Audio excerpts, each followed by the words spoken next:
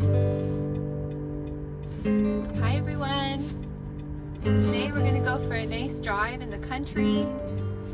Uh, I wanted to do some walks lately, but it has been bitter cold and really windy for some reason, just in my city and in the falls, because I love doing walks there, you know that.